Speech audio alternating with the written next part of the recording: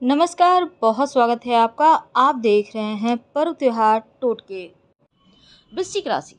आज का दिन आपके लिए बहुत अच्छा है। मन में कोई इच्छा है तो उसके पूरे होने के संकेत आज दिख रहे हैं।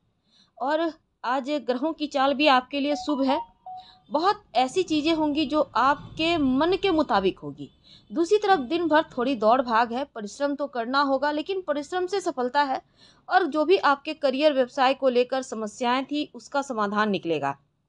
मन माफिक काम पूरे होंगे, जीवन साथी के लिए कोई उपहार वगैरह ला सकते हैं, कारोबारी है तो रिस्क उठाकर लाभ पाने की कोशिश करेंगे और सफलता मिलेगी।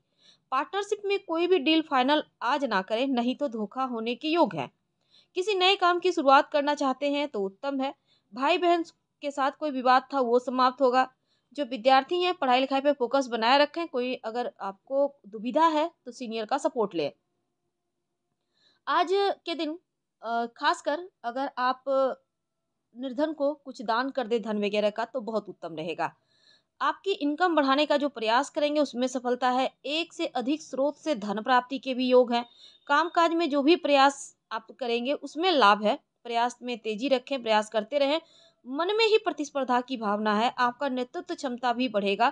खासकर व्यवसायी भाइयों को थोड़ा सा सावधान रहना है और आज के दिन खासकर प्रेम जीवन में है तो उत्तम है। कुछ बड़ा उम्मीद आप नहीं कर सकते, लेकिन जैसे चल रहा है, बिल्कुल वैसे ही चलेगा। पर्सनल, प्रोफेशनल लाइफ में संतुलन बनाए रखिएगा, और जो भी फैसले हैं, धन से जुड़े खासकर, होशियारी से, बुद्धिमानी से करें। थोड़ा खर्चों पर कंट्रोल रखें। मन में थोड़ी सी अज्ञात बाधाएँ रह सकती है, लेकिन बेवजह का विवाद से अगर बचने का प्रयास करेंगे तो आपके लिए ज़्यादा उत्तम रहेगा। आज के दिन कोई भी काम करने से पहले अच्छी तरह से सोच विचार करें। साथ ही आपको अपनी स्वास्थ्य को लेकर थोड़ा सा ध्यान भी रखना है।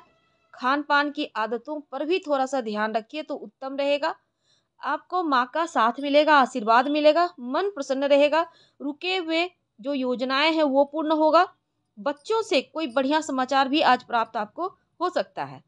वैसे शीघ्रगामी वाहन जो होते हैं, यानी वाहन खुद से चलाते हैं, थोड़ा सावधान रहना है। और इस समय अगर आपके जो छोटे हैं, उनसे कोई गलती होती है तो उनको समझाइए, उनकी गलतियों को माफ़ करें। शुभ रंग सफ़ेद, भाग्य साथ निभाएगा। करीब पचहत्तर प्रतिशत भाग्यांक चार है। तो आज छोटी छोटी बातों को इशू न बनाएँ और ज़्यादा ईगो पे हर चीज़ों को लेना ठीक नहीं। प्रेम के मामलों में ठीक है, लेकिन हिम्मत मत हारिए। प्रयास जारी रखिए। और अगर आप सच्चा प्रेम करते हैं तो आप अपनी तरफ़ से कोई गिफ्ट वगैरह भी दे सकते हैं। जो विद्यार्थी हैं, कीमती समय का सही इस्तेमाल करें। ये आपको सीखना बहुत आवश्यक है, क्योंकि समय किसी का इंतज़ार नहीं करता। इसका ध्यान रखिएगा। और स्वास्थ्य के मामलों में वैसे बढ़िया है, लेकिन दिन भर भाग दौड़ है तो थोड़ी सी देर से हम थकावट महसूस हो सकती है। फ़िलहाल विदा लेंगे धन्यवाद लाइव से मैच करें, तब लाइक कर सब्सक्राइब करें, अपनों से शेयर करें और कमेंट में हर हर महादेव ज़रूर लिखें। धन्यवाद।